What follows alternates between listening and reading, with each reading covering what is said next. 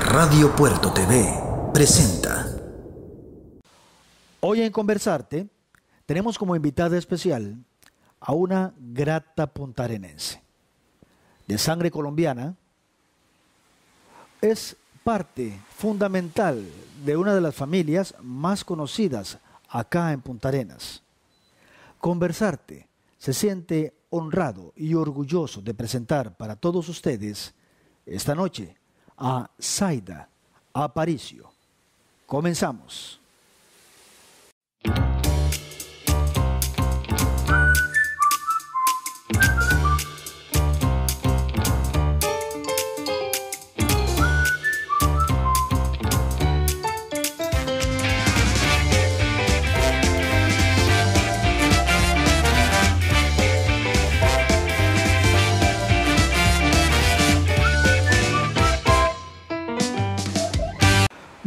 Noches, tengan todos ustedes, amigos y amigas de Radio Puerto TV, la forma diferente de hacer radio y televisión acá, en Punta Arenas. Un servidor de cada uno de ustedes, Carlos Martínez, les da la bienvenida a una noche más en Conversarte, el arte de conversar.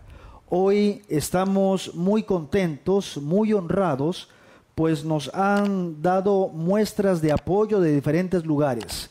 Un saludo para Guadalajara, México, a don Adolfo Guzmán, que estuvo viendo el programa la semana anterior.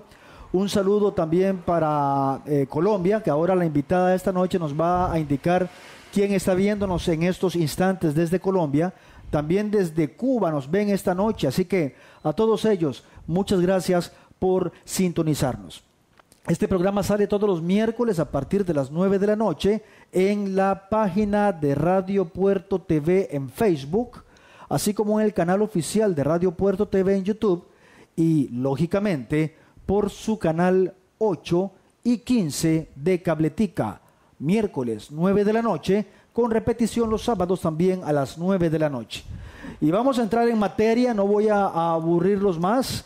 Hoy tengo aquí mi, teléfono celular porque aquí tengo los datos de nuestra invitada, de esta invitada que es orgullosamente porteña. Hoy contamos con la presencia, la grata visita, nada más y nada menos que de Zaida Aparicio, o como ella dice, la niña Zaida. Zaida, muy buenas noches, un placer tenerte esta noche por acá. Muy buenas noches, Carlos, y muchas gracias por la invitación. Para mí es un orgullo estar aquí compartiendo con vos este rato tan ameno. No, y para nosotros, para la gente de Radio Puerto TV y de Canal 8 y 15 de Cabletica, es un honor tenerte por acá esta noche. Además, de que Zaida, como la gran mayoría de los invitados que han, han estado acá en Conversarte, conversa, así de sencillo, conversa, tiene ese arte para conversar. Zaida, iniciamos. Iniciamos. Zaida Aparicio Benavides es como queda inscrita en el registro civil, aunque tiene un segundo nombre, Zaida. Isabel como la reina. Zaida Isabel. Como la reina. Zaida Isabel Aparicio Benavides. Zaida nace un 27 de febrero. Así es, Zaida. 27 de febrero. ¿Podemos decir la fecha? Claro. Dele. De 1955. O sea, tenés 66 años. Y vea cómo lo marca, 66 años. Bien vividos. Perfecto. No, no, a Zaida yo, yo tengo muchos, muchos años de conocerla desde la época de los 90, eh, vamos, desde mucho más, pero empezamos a hacer más, eh, una amistad mucho más cercana a partir del año 96, un reconocido negocio de la familia. Zaida tiene sangre colombiana. Sí, parte de la, de la sangre es por el área paterna. Mis abuelitos, mis bisabuelos eran de, de Cartagena, eran cartageneros, eran muy alegres, colombianos. colombianos. Aparicio. El Aparicio viene de allá. Aunque históricamente dicen que el Aparicio con Z. En, es con Z. Es con Z eh, porque viene de la, de la, del área de España. Pero de España salen un grupo de, ellos a radicar en Colombia. Y en Colombia, de, a través de la historia, como todo cambia, como las lenguas muertas que cambian, ¿verdad? Este, pasó a ser Aparicio con C. Y de ahí es donde viene la cepa. Tus aparicios, según estuve viendo en internet, los aparicios, la camada, la gran camada porteña de los aparicios, efectivamente inicia su transitar acá en Latinoamérica, en Colombia, como acabas de decirlo, pasan a Panamá, algunos trabajaron en el canal de Panamá, Ajá, Y- Chiriquí, radicaron en Chiriquí. ajá, y luego pasan a Limón. De Limón se vienen para acá y llegan a Esparza. Y de Esparza, A, Cho- la- a Chomes, porque había mucho, mucho, mucha producción de, de- de ganado, de millo, de, de sorgo, y entonces en las fincas de Chomes radica un- mucha familia ahorita, hasta hoy, eh, a París. justamente eh, vienen de Esparza, a Esparza y pasan a Chomes. Sí. Y luego vienen para acá. Ajá. Y de acá hay algunos que se van para Cañas de Guanacaste. Ajá. Zaida, Jesús Aparicio Molina, tu papá, Mi papá. él tenía un conocido como bastante particular. ¿A él, a él lo conocían como qué? ¿Un apodo? Como- él le decían el señor del hielo. El Señor del y Hielo. también después en su en la en la en la jerga este del vulgo de, de lo- de los artistas que él se hacía pasar o, o era reconocido como un artista le decían el charro de plata Y es que él, él tocaba él guitarra. tocaba y- guitarra ese era este innato un don innato que él tenía y cantaba. Le encantaba todo lo que era Jorge Negrete. Por eso los amigos le decían el charro de plata. Para los que lo conocieron y ahorita no se ubican, don Jesús en sus últimos años estuvo siempre desde las 6 y 30 de la mañana por, por el bulevar, en el bulevar de Casa de la Cultura, vendiendo eh, libros de escuela para todos, eh, de rece- recetarios, y siempre ponía un- una radio, un radio que, que ponía la música que a él le encantaba, música de los años 50, 40, 60, etcétera. Eh, Y Carlos, y él, perdona, él fue como un ícono, porque le gustaba escribir. Y él escribía recordando a Punta Arenas, este, recordar es vivir. Y hizo libritos en su poca educación, porque mi papá, según nos contaba el de segundo grado, nunca pasó. Eh, fue un empresario, mantuvo una empresa, eh, innatamente se hizo contador para mantener una empresa. Y un tiempo de su vida le dio por escribir, le dio ese romance de escribir. Incluso el libro este, forma parte ahí de los libros de la Casa de la Cultura. Yo tengo un ejemplar de ese libro, ¿sí? lo tengo por ahí. Él se fue hace poco, ¿cierto? ¿Sabes? ¿Hace cuánto se fue? Sí, tiene año y medio de haber partido. Hace poco se fue realmente. Sí, sí, ya está.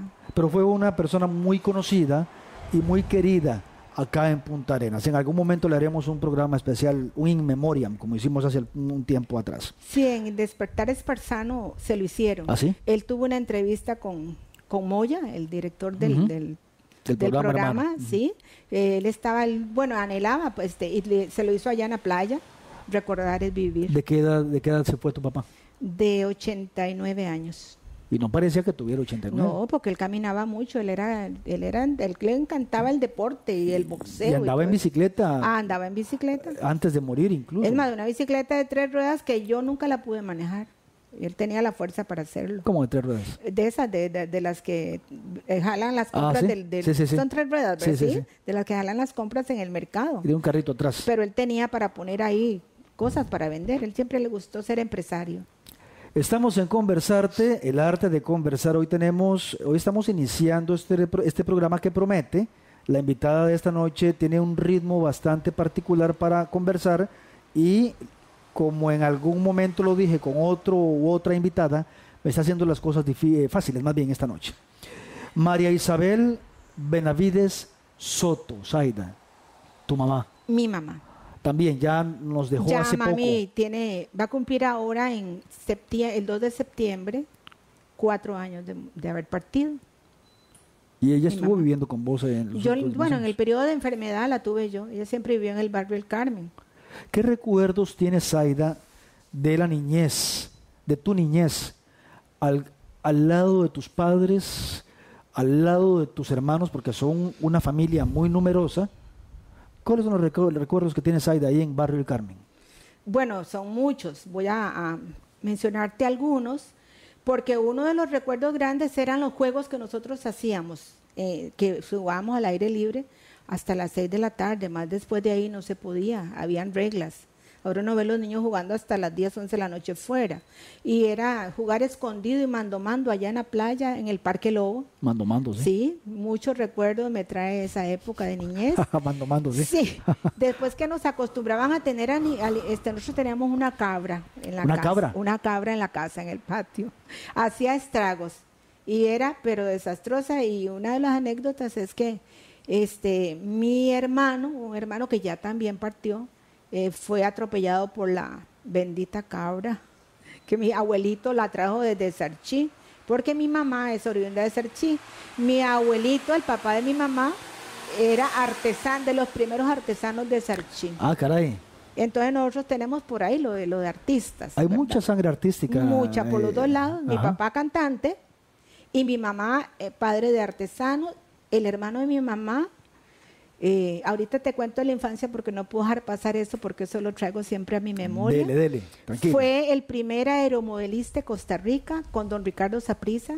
Él tiene, en Estados Unidos, le, le tienen un, un espacio a él donde él volaba, los, donde él es el primer aeromodelista en, en- en un museo de los Estados Unidos, ahorita no recuerdo cuál, pero tenemos fotos de que él era, y él eh, era, sin ser arquitecto, él armaba los aviones.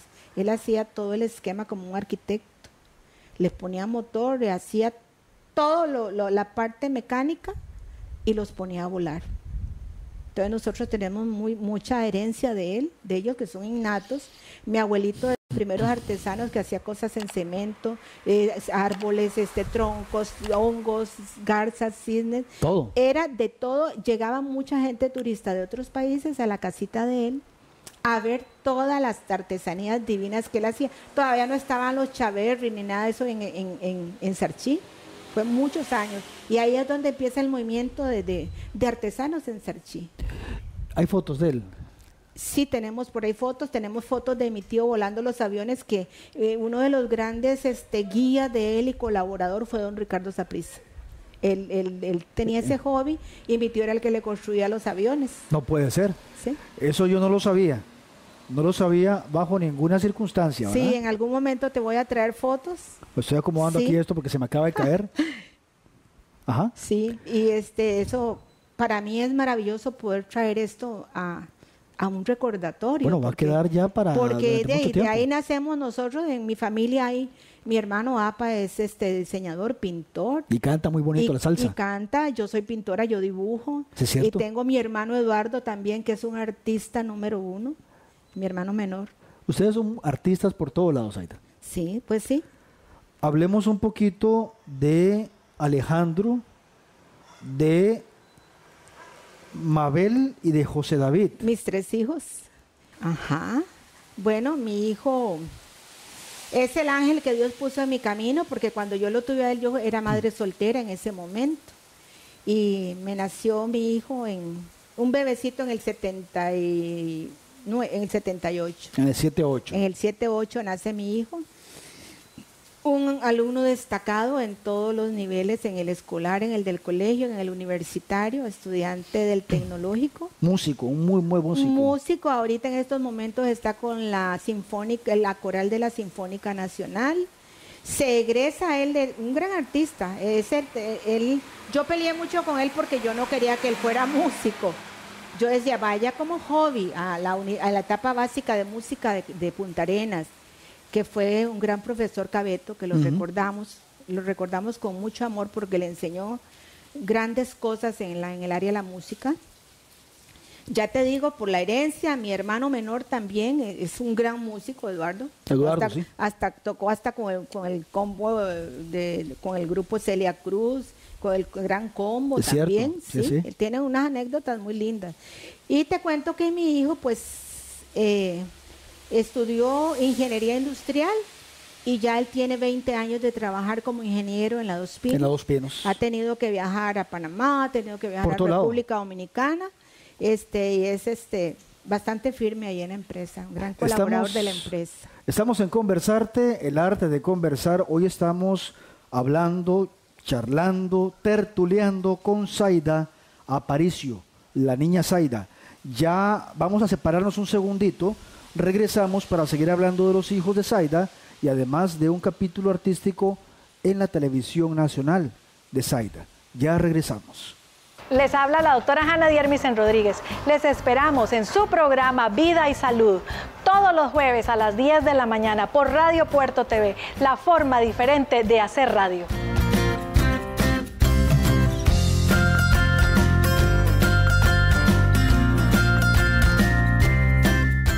¿Quiere ser parte de esta gran familia de Hablemos de Caballos y más? Su espacio publicitario está a sus órdenes. Comuníquese al 8818-3158. También al 8527-7758 y sea parte de esta gran familia de Hablemos de Caballos y más. Volvemos, estamos hoy miércoles desde Radio Puerto TV, la forma diferente de hacer radio, canales 8 y 15 de Cabletica en una emisión más de Conversarte, el arte de conversar. Y hoy tenemos como invitada a una porteña en todo el sentido de la palabra. Baila, tiene un muy buen ritmo a la hora de bailar, que baila, baila genial el bolero, ¿verdad? Canta muy, muy, de una manera muy particular, principalmente las canciones de Angélica María. Y ahorita vamos a hablar de todo eso. Saida Aparicio. Saida, hablemos un poquito de tus dos hijos, los, otros dos hijos, de Mabel y de José, David, que yo no los conozco. Bueno, tal vez los he visto, pero no los, no los conozco, no, tengo ningún tipo de cercanía a como sí tengo con Alejandro. Sí, es que Alejandro se creó en el barrio El Carmen, ahí vivimos mucho tiempo. Cuando yo me casé, eh, como a los dos años de casada, logramos conseguir una casa en el Roble y mi hija nació en el barrio, la, la, única mujer que tuve, pero muy pequeños nos trasladamos para el Roble. Y mi hijo también, el menor. Entonces, como tuvieron poco contacto con la gente del barrio, se conoce más en el Roble, los amigos del Roble, el colegio técnico, y estuvieron un tiempo estudiando en el colegio de Miramar, porque el papá de ellos era director de la escuela de Miramar.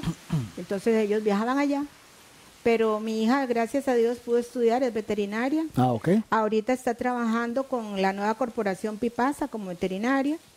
Y el menor también, gracias a Dios, se graduó y es el relacionista internacional. Ah, qué bueno. Con énfasis en el idioma japonés. Entonces cumpliste, cumpliste con los tres hijos. y tres y uno más. Como uno más. Cuatro, ya te hablé de que yo... yo ah, bueno, sí, sí, sí, no me gusta sacarla del grupo. Claro, perfecto. ¿Tenés, ¿Tenés nietos o aún no tenés nietos? ¿No te han dado nietos? Sí, tengo... Mi hija ya después de grande, a los 42 años tuvo una niña. ¿Ah, sí? Sí. Y José David tiene un varón, el menor. Alejandro no me ha dado nietitos. Solo, no, ahora solo tenemos una perrija. Una perrija. Una perrinieta. La, acabas, la acabas de, La acabo de adoptar, En, la adopción canina de Alajuela. Saida, esto vamos a hablarlo muy poquito, porque eh, lógicamente uno no puede pasar por encima de sus invitados. Saida se casa un 4 de agosto de 1978. Y como en la vida todo termina de una u otra manera, se divorcia el 18 de febrero del año 2004. Y hasta ahí. No vamos a hablar del pasado en ese sentido porque hay que ver para adelante siempre. Claro, borrón y cuenta nueva. Ok, Zaida, vamos a ver. Resulta que Zaida entra a la escuela. ¿Cuál escuela?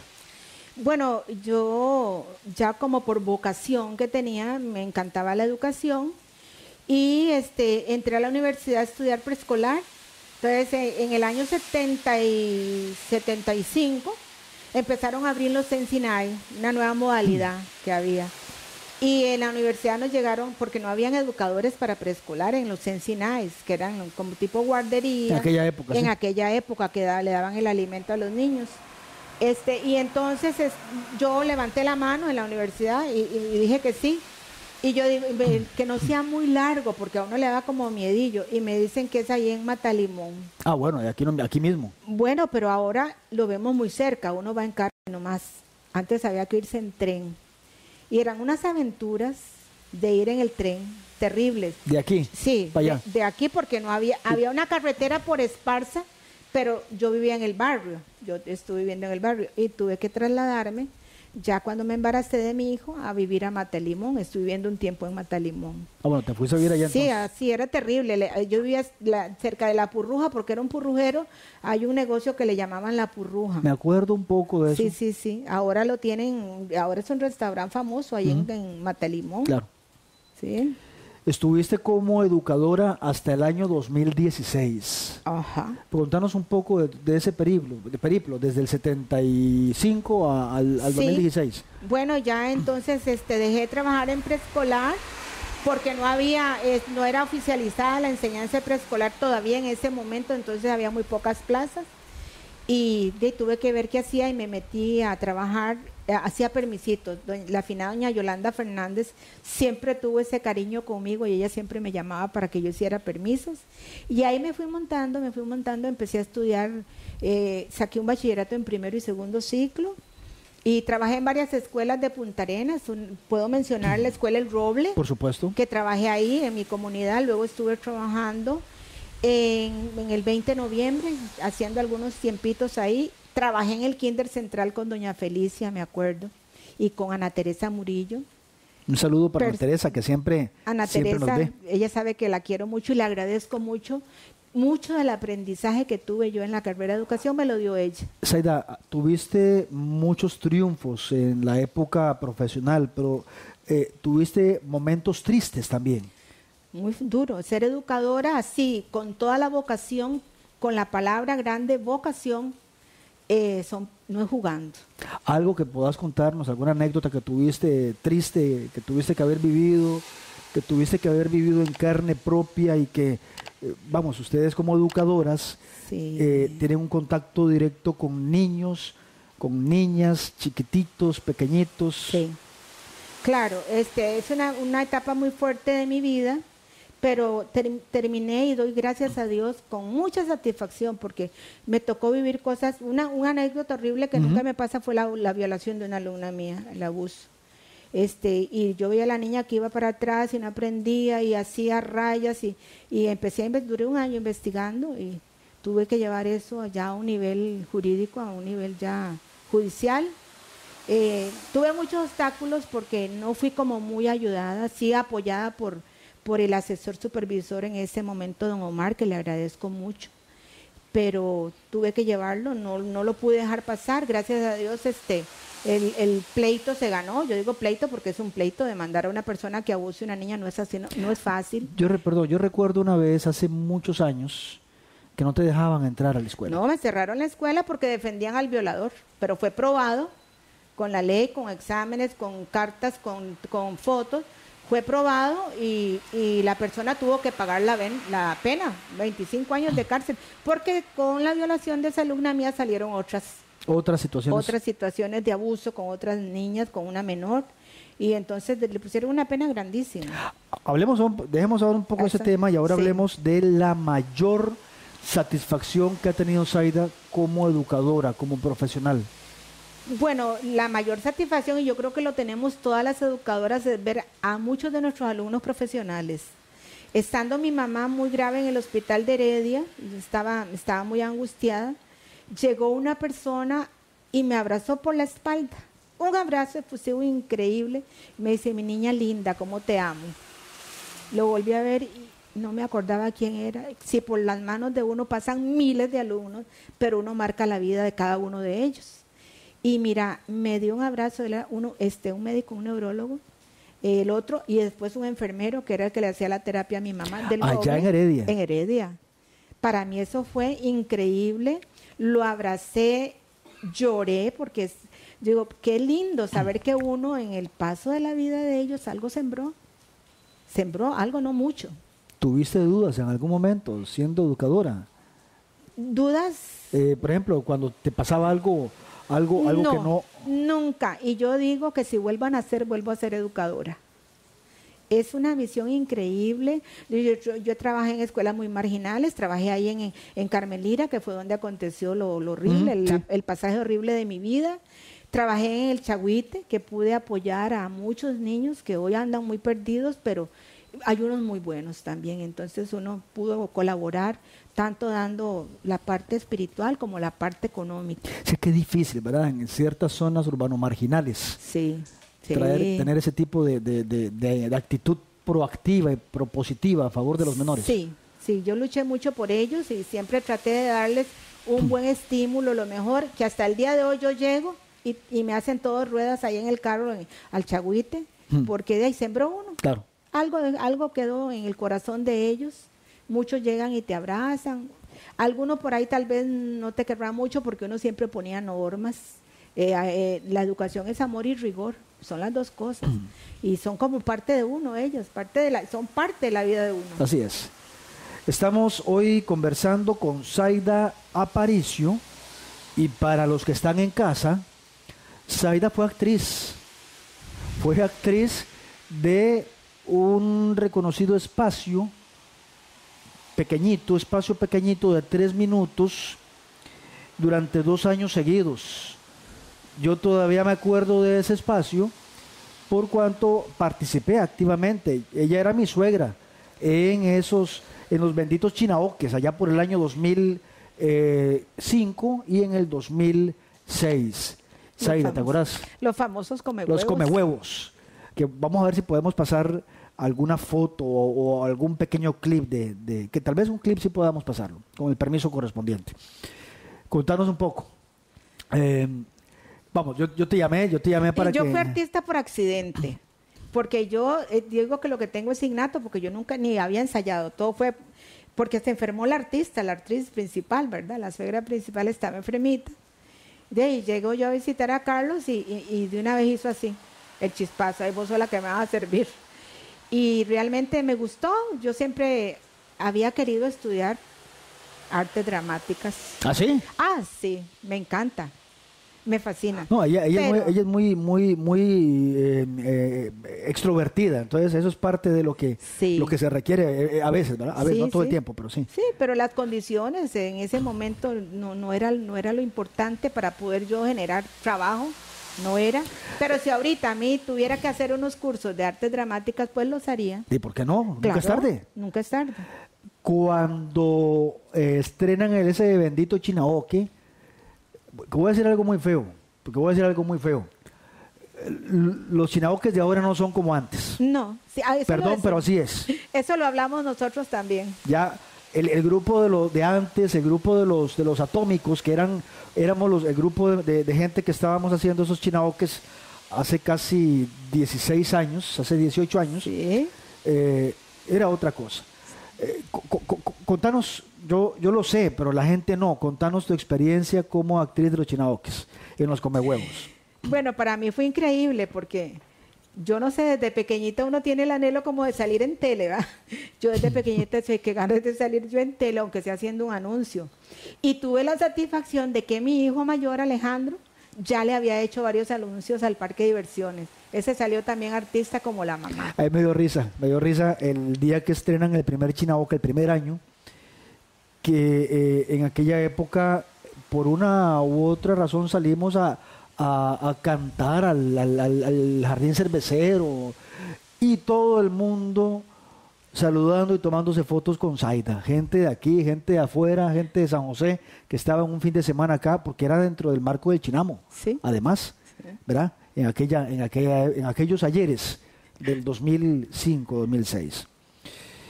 Estamos en Conversarte, vamos a, a, un corte, Zaida, se me está haciendo esto muy rápido, vamos a nuestro segundo corte de la noche y regresamos para seguir conversando acá con Zaida Aparicio, o como ella lo dice, la niña Zaida.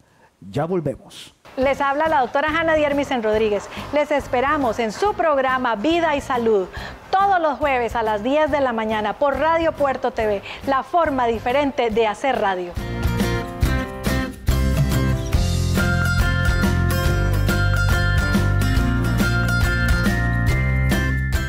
¿Quiere ser parte de esta gran familia de Hablemos de Caballos y más? Su espacio publicitario está a sus órdenes. Comuníquese al 8818-3158. También al 8527-7758 y sea parte de esta gran familia de Hablemos de Caballos y más. Volvemos, estamos ya en una noche que está empezando a llover, Zaida. Sí, Está empezando a llover acá en Punta Arenas. Está el clima, el clima está rico, sí, el clima está está, muy rico. Un saludo para todos ustedes, amigos, que están viéndonos allá en la zona sur, que nos ven allá en Quepos, en Golfito, que nos están Colombia. viendo en, en la zona de Guanacaste también, en todo Punta Arenas por canales 8 y 15 de Cabletica. Y de igual manera, Zaida, ¿dónde nos están viendo fuera del país? Eh, mis comadres en Colombia y mi ahijada en Cuba. Pues un saludo para ellas, el nombre y, y todo. los, los, ¿ah? ¿Cuál es, ¿Cómo se llaman? Bueno, en Cuba, en, en Camagüey, tengo a, lo- a los abuelitos de mi sobrina nieta. Un saludo para ellos, ellos me van a ver, les voy a mandar el link. En Guantánamo tengo a mi hijada, que fue la que te presenté ahora por el teléfono. Y en Bogotá tengo una hijada muy querida también, y le mando allá un efusivo saludo. Bueno, un saludo amo. para todos ellos. ¿Cómo se llaman?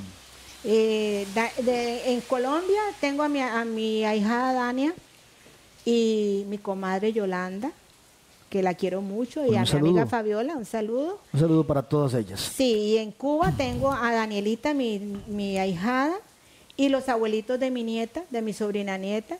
También les mando un fuerte abrazo y los quiero muchísimo. Un saludo para todos ellos. Zaida, en mis notas tengo, y aquí en el teléfono, me indican que tu infancia y juventud, ya hablamos un poquito, que la- las pasaste en Barrio El Carmen, del cual guardo, dice así literalmente, del cual guardo muy lindos recuerdos.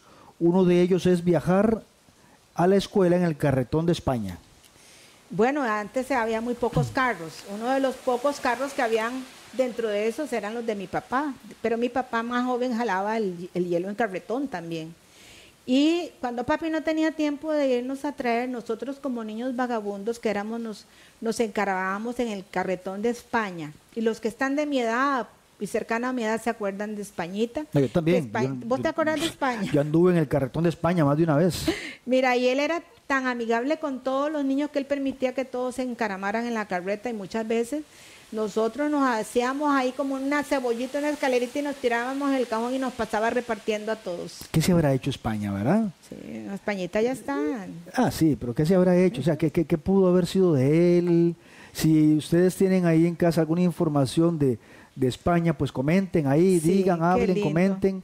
Y, y si pueden enviarme un mensaje privado, pues sería al Facebook, en Messenger, sería eh, bonito hacer un programa Es eh, en honor es- de, él de es- todos ellos. él fue parte y sigue siendo parte del recordatorio histórico de Punta Arenas. Claro, claro. No se, no se olvidan. Luego dice, y esto me llamó mucho la atención, que cursé la primaria, dice Zaida, cursé la primaria en la Escuela de Mujeres Hogar Cristiano, desde el 61 al 66, Zaida. Sí, este, antes se acostumbraba mucho, esa, los padres hacían esas grandes secciones que querían que sus hijos estuvieran en escuela de mujeres, es- los hijos en escuela de varones, que se dio con Adelia y con la Mori Caña en una época. La ¿verdad? Antonio Gámez. La. Antonio Gámez, sí, eran escuelas solo de hombres o de mujeres. ¿verdad? Eso se fue superando conforme fue madurando el pensamiento de que era importante que estuvieran los dos sexos, varón y eh, Claro. eh, en- en- aprendiendo, compartiendo, socializando los dos. Pero en aquella época mi papá me matriculó a mí en el, en el lugar cristiano. Ya estaba la escuela del Carmen, que era mixta, pero de ahí era la idea de él de que, de que ahí me iban a formar mejor. Y era muy bonito porque era un lugar, ahora está la corte ahí. Eh, Aquí en el centro. Ahí, aquí en el centro, ahora está la corte ahí, pero en aquel momento era internado y semi-interno. La niña Rosita Sequeira, me recuerdo que fue mi directora ahí en la escuela, en la escuela, eh, el lugar cristiano. En la mañana estábamos en clase, íbamos a la capilla, había una capilla donde se iba a rezar.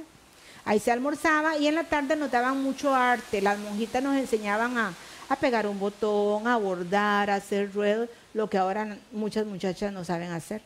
Muy pocos varones y muy pocos varones también. Sí, sí. Sí. Entraste luego al Liceo José Martí, Martiana de Corazón. Martiana de corazón. Era noviera, Zaira. Pues vieras que te voy a ser sincera, no, si hubiera sido noviera te digo que sí. El único como enamoradillo que tuve fue el famoso Rolando París Chaverri, que ahí anduvo, Bueno. anduvimos como, como así, como de la manito nada más. Sí, pero es un noviazgo de chiquillos. Sí, de chiquillos. De ahí no, no, yo en eso fui, fui bastante como, bastante seria. A como hasta los 20, 18 años tuve mi primer novio. Eh, en, el, en, el, colegio tuve aventuras muy lindas. En la época de colegio yo creo que todos la añoramos, la recordamos, porque ya es esa transición donde uno empieza ya a percibir más cosas de la vida. Y este, a mí me gustó mucho porque creo que ahí nace la vocación mía o lo, lo, lo que tengo yo interno de arte. Ahí don Jesús Watson, que fue famoso, quien no conocía en aquella época a don Jesús. El profesor de música. Profesor de música. Este, don Jesús este, forma un coro ahí en el, en el colegio y empieza a traer, a probar voces, a probar voces. Y yo quería, yo dije, ay no, yo voy a ir porque yo quiero cantar. Y yo ya que decía, usted no sirve, vaya a vender pericos a la playa porque usted para cantar no sirve. Así le decía don Jesús a la gente. Sí le decía don Jesús a la gente. Sí, pedazo de caite. Usted no sirve para cantar. Era así, estricto, y, y, nosotros nos quedábamos todos temblando. De cuando yo voy a cantar, ¿cuál fue mi sorpresa? Que él me escogió a mí. Me dice, usted tiene voz soprano, usted va para allá. Y yo feliz de la vida, estuvimos muchos, muchos, este, eh, muchos años, de primero a quinto, ahí en el coro de Don Jesús. Hacíamos presentaciones lindísimas porque ese acto de, de, de, salón de actos del Liceo José Martí que se perdió era para solo eran presentaciones preciosas, artísticas increíbles. Dicen que era un, un, un salón de actos eh, acomodado para, para cantar, para, para actuar, divino. para... Yo me sufrí cuando lo quitaron porque era la acústica y todo era perfecta para una coral. Entonces ahí teníamos este las presentaciones corales. Luego doña Mercedes Grillo de Angulo Ajá. forma el club, famoso club de danza, famoso porque fue el que abrió los primeros carnavales de Punta Arena con con el grupo El Club de Danza. Ah, eso fue en el 72. En el 72. Antes del 70, no, yo, ah, mucho antes. Mucho antes. Sí, como en el 70, no, en el 60, tres años estaba, en, no, yo entré primer año del colegio y ella tenía, ya estaba formando el grupo. Ah, ok. Como dos, seten, 68, 69 y 70. 68 69. En la época de oro Fueron de los Punta primeros Arenas. carnavales de Punta Arenas, época de oro era sonado aquello, ¿verdad? Entonces, amén de un montón de comparsas, el grupo de danza del Liceo José Martí se destacaba, con aquellos vestuarios elegantísimos que doña Mercedes este, diseñaba, que era una toda una artista, doña Mercedes. Un, un saludo, un saludo muy especial Un para la familia Angulo, A Patricia, que la quiero tanto. a Patricia y a Bernardo y a toda esta gente que todavía siguen con, con esa, esa, esa clase genial que tienen ellos eh, Sí, en la vida sí. social puntarenense. Sí. Zaida, ¿cómo era Zaida, joven, post-adolescencia? ¿Qué le gustaba a Zaida de Punta Arenas? ¿Qué, qué, qué, qué hacían ustedes cuando estaban jóvenes todavía? Mira, de nosotros es que era tan sano en los paseos, los, las caminatas por el paseo de los turistas. Eso era increíble, ir a tomar su fresco a los kioscos. Era algo en los grupos, era algo lindísimo. ¿Tú fuiste al Pliquiti? Eh, sí, yo estuve, yo fui, yo conocí, conocí la el, el Tom John cuando era, cuando decían que era bueno, después se, después se, se, de, se hizo feo, llegaba cualquier tipo de gente, pero el Tom John al principio era muy lindo. El caracol, aquellos grandes bailes divinos que hasta Los Ángeles Negros llegaron al caracol. Al Caracol, Los Ajá, Ángeles Negros. Los Ángeles Negros. La deriva. La deriva, bueno, era la deriva era nuestro centro de diario vivir. Después Pero- del colegio íbamos a la deriva. Vos viviste la primera época de la deriva. Claro, porque Mario y Barín eran mis compañeros de, de- de grupo. Entonces nosotros íbamos, era- eran los hijos del dueño. Y el Bum Bum. El Bum Bum nunca fui. No fuiste al Bum Bum. Nunca fui. Eso fue Lo mucho más antes conocía, todavía. pasé, ¿no? No, ahí estaba, pero eh, como te dijera, como nosotros éramos los chiquitos de mami, papi, papi y mami no nos permitían ahí, ellos tendrían sus inconvenientes, ¿verdad? No sé por qué. No nos dejaban ir al bombón, pero a la deriva sí. Andábamos en la época, ¿te acordás de los hippies, de andar descalzo? Entonces, yo dejaba mis zapatos botados allá donde, donde Patricia Angulo, y no, porque el boom era andar descalzo. Y nos íbamos descalzos a bailar a la playa, deriva descalzo. Porteño que no ha andado descalzo no es Sí, porteño. Y también cuando estaba la nave del olvido allá en la punta. Te iba a preguntar de eso. Ay, algo maravilloso. Yo, lógicamente, yo no había nacido. Escuché a mis padres hablar de la nave del olvido. ¿Cómo era esa, qué era esa nave del olvido? Bueno, esa nave del olvido fue un barco que encalló ahí. Y, y gente muy, muy ingeniosa decidió no quitarla de ahí, sino hacer un salón de baile. Eso es una idea bonita. Luce- Una idea lindísima que yo no sé por qué hoy no la compran un montón. Sería algo maravilloso para el turista. Pero aquello era, había hasta como, vos entrabas y había una piscinita con luces por debajo y para uno era emocionantísimo. Eso es Y- es donde están los malecones, donde los ¿Dónde están malecones. los malecones? Allá en la pura Ah, por el punta. faro. Sí, y me tengo grandes recuerdos de obras de teatro que se hicieron allá en la playa, con botes que venían desde el, de adentro del mar. El Ateneo Puntarenense. El Ateneo Puntarenense, yo pertenecía al coro del Ateneo Puntarenense. También muy- me siento llena de orgullo con el doctor Ruiz, con Ruiz el abogado, que él era cantante también, Claro. cantaba con nosotros. Hablando de cantantes, Zaida canta también. Y canta mucha música en homenaje o en honor a Angélica María. Y a Celia Cruz. Y a Celia Cruz. Y Angélica María. Pero las de Angélica María sí te quedan muy bonitas, muy, muy bonitas. No quiero decir que le quedan mal las otras, no. no. Pero sí tiene un dejo vocal a lo Angélica María. Lástima que no hay, que no hay eh, pista en este momento, estamos solamente nosotros aquí Sí, y en algún momento lo vamos, a, lo vamos a tener. Estamos en Conversarte, el arte de conversar. Hoy estamos eh, charlando, hablando, platicando, conversando, tertuleando con Zaida Aparicio o como lo, la conocen en todo Punta Arenas, la niña Zaida. Vamos a un corte y regresamos con más en Conversarte, el arte de conversar. Ya regresamos. Les habla la doctora Hanna Diermisen Rodríguez. Les esperamos en su programa Vida y Salud todos los jueves a las 10 de la mañana por Radio Puerto TV, la forma diferente de hacer radio.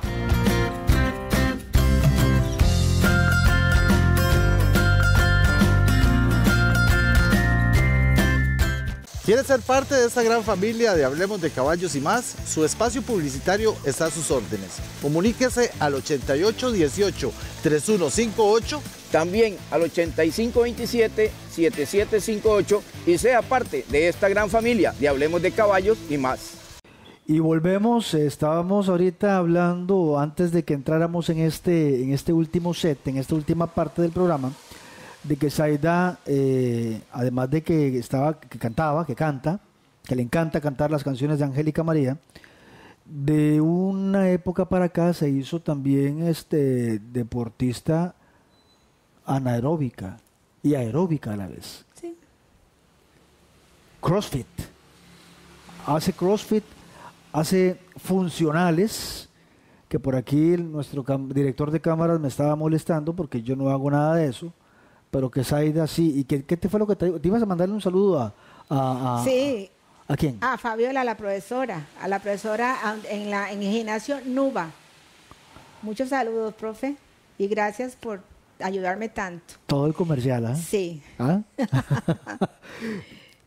¿Hace cuánto estás haciendo ejercicios? ¿Te, te, te- te Eh, has sentado bien para un problema de rodilla que Sí, tuviste? eh, esto fue, esto se dio a causa de, de un problema que yo eh, he tenido después, porque yo antes corría mucho y hacía mucho ejercicio y se me, me falló una rodilla y empecé a padecer de reumatismo y el, el doctor que me ve a mí en la clínica bíblica me recomendó funcionales porque tengo que levantar pesas para fortalecer músculos. ¿Hace cuánto? Eh, ya yo tengo un año Hace eh, un lo- año. Un año de hacer funcionales, pero me detuve tres meses porque se me quebró eh, el tobillo inferior, en la parte en el inferior del tobillo. Hace poco, ¿no? Sí, hace poco, ya tengo dos, no, ya tengo tres meses de haberme integrado otra vez a los ejercicios y me ha servido de mucho porque uno se, se rejuvenece en la parte interior, lo que es la fuerza muscular. Ahora me dijo fuera de cámaras que ella estaba alzando pesos, que una chiquilla de 20 años desearía alzarse esos pesos. Bueno, la profesora eso es lo que me dice, que muchas jóvenes no hacen lo que uno está haciendo. Y le agradezco porque son 60, casi 67 años ya. Lo que Zaida no sabe es que la profesora le dice eso a todo el mundo. No, mentira, mentira, mentira, mentira. No, no, muy bien, muy bien. Zaida, ¿qué extrañas? ¿Qué extrañas de, de- de tu vida de, de aquí para atrás? De Punta Arenas de aquí para atrás? De tu familia de aquí para atrás? ¿Qué extrañas de tu vida? De mira, uno extraña muchas cosas porque el tiempo de la infancia, esos tiempos, como dijo el cantante, días felices que no volverán. Entonces, de yo extraño, vivo, aunque vivo en el Roble, extraño las caminatas en la playa. E- Esas caminatas matutinas son divinas, increíbles. Extraño mucho porque me quedaba a los 50 metros de mi casa a la playa, entonces los atardeceres. El ir a jugar al parque con, eh, o irme a sentar al parque a conversar, al Parque Lobo. Ese Parque Lobo fue uno de los parques más famosos, que yo creo que era el único que había después del Parque Moricañas. Entonces estar ahí, este, esa etapa de la vida es... Sin embargo, sin embargo, perdón que te interrumpa, sin embargo, me decís que vos eh, de vez en cuando te venís Ah, aquí sí. sola, Ah, sí. a sentarte Sí, al atardecer sola. Eso no puede salirse de la vida de uno, porque de vez en cuando vengo a ver los atardeceres y tengo el, agarro el carrito y me vengo. Pero no es siempre, es que uno viviendo a los 50 metros de la playa es el día a día. ¿Qué le hace falta a Zaida? O ya... Mira, yo estoy muy completa en Dios. El que está en Dios está completo. Yo tengo mucha felicidad. Tengo, vivo solita, mi hijo mayor me visita mucho, me, me cuida. eh, y entonces yo siento que yo estoy completa. Tengo mis, mis este, sobrinos, ni- mis sobrinas nietas, mis sobrinas, que les mando un saludo y las amo, de esparza que me cuidan, me protegen. Y mi sobrinita nieta que está llenando ahorita mi vida es Divina Mira. Y mi hermano es este mi ayudador, mi Tenés guía, todo, mi todo. consejero. Eduardo, Eduardo, mi hermano Eduardo es mi guía, mi consejero, él es máster en teología y es mi guía. ¿Creyó Zaida después de su matrimonio? ¿Creyó en el amor? ¿Tuvo alguien ahí por ahí? ¿No? ¿O Pues continuó mira, sola? no, yo hasta el día de hoy vivo sola. La soledad es una gran amiga. Hay gente que le tiene mucho miedo a la soledad, pero ese es un estado mental. Es para Usted- encontrarse uno mismo. Ese es, es que una cosa es estar solo y otra cosa es la soledad. Son dos cosas muy diferentes. Yo vivo sola, pero no estoy en soledad, porque yo soy lectora, a mí me gusta oír música, voy al gimnasio a las 5 y 40 de la mañana, estoy en el gimnasio. A esa hora me, me levanto a las 5 para estar a las 5 y 40 en el gimnasio. Y tengo el resto del día, tengo un jardín muy grande y, y ahora tengo la cachorrita, que es mi compañerita, entonces tengo mucho que hacer. Eso es, eso es lo, lo- lo ideal, estar, estar ocupado. Y también, este, no es un comercial, pero sí, porque mucha gente lo sabe, yo trabajo con mis manos, yo hago arreglos florales, yo hago diseños, este, yo hago caricaturas, entonces No, paso pero con sí, mi vida muy- paso con mi vida súper ocupada. Está siendo cotizada además. Sí, sí, me llaman para Porque es que Zaida, yo la había invitado anteriormente y no pudo. No pudo porque tenía mucho trabajo para el Día de la Madre. ¿Verdad? Entonces, Así es. No, y no importa, Zaida, demos el número telefónico en caso de que ocupen tus servicios también Sí. en, en manualidades, ¿verdad? Sí, yo hago arreglos florales en seco y naturales y hago diseños y pinto murales y todo. ¿Número? 8877-4385. ¿Otra vez? 8877-4385. Ya lo saben. Hoy estamos acá con Zaida. Muy bien, Zaida. Este, hablemos ahora de lo que espera Zaida en el, en el futuro. ¿Qué espera Zaida del futuro? Mira, el futuro es incierto. El futuro está en las manos de Dios. Yo vivo un día a la vez. No sé si estoy viva mañana, dentro de una semana, pero yo, eh, yo he viajado mucho, he procesado mi vida en el futuro, que es lo que le sigo pidiendo a mi hijo y a Dios. eh, que me, pues, es que est- esta pandemia nos ha jodido, como dicen. Sí, ¿verdad? sí, sí, literalmente. Este, pero yo, vos, vos me conoces, soy muy viajera, Dios me ha dado el privilegio de viajar mucho. Y en el futuro yo espero del futuro poder seguir viajando, poder seguir ayudando a las personas que me gusta ayudar, porque uno en esta vida tiene una misión que cumplir. Y si yo tengo y hay otro que no tiene, pues bendito Dios que Dios me permite poder ayudar a los que no Y tienen. pronto vas a salir del país nuevamente. Es Sí. que- Es que es pateperro, ella es pateperro. Voy para un lugar que se llama La Guajira, a convivir con los indios de La Guajira ¿Cómo? en Colombia. ¿Vas a ir a convivir con...? Sí, voy a estar una semana en una, ellos le llaman una ranchería, en una ranchería indígena. Voy a ir a convivir con ellos, voy a dormir en un petate, voy a ir a ver cómo, lo que comen. Me dijeron que habían baños de acerrín, quiero saber cómo es bañarse con acerrín. Bañarse en acerrín. Sí, el baño, un baño, lo- el- el- en Turquía dirían un baño turco, y con guacal y todo, ya me mandaron fotos. Es toda una aventura. Vas a mandarme fotos para Sí, también claro, claro, ponerlas claro. acá en, en conversar. Claro, con mucho gusto. Y creo que vas para Nueva York también en algún momento. Estamos planeando porque ahorita los boletos están muy, muy, muy baratos. Entonces, Alejandro, eh, estuvimos hablando, Alejandro, mi sobrina y yo, ayer fui a retirar mi nuevo pasaporte por dicha, que queríamos ir unos cuatro días a Nueva York. Que estamos ahí planeándolo, pero el de, el de, la, el de allá, de, de- de ir a compartir con los indígenas de La Guajira, es, sí es de seguro. Eso va a ser un viajazo Ah, sí. Y hay que compartirlo acá. Sí, sí, sí. Acá cuando, cuando volvás. Sí, es como, me hubiera gustado irme ahorita porque ahorita están los desfiles en Medellín de los silleteros. Eh, tuve el privilegio de estar en uno de ellos hace como cuatro años. Es una aventura increíble, muy linda. Zaida, se nos acaba de ir el tiempo. Qué rápido se nos hizo este, conversa- este Qué conversarte. rápido, ¿verdad? Sí, ha sido un placer para, para, para mi persona el tenerte, el haberte tenido esta noche acá en conversarte.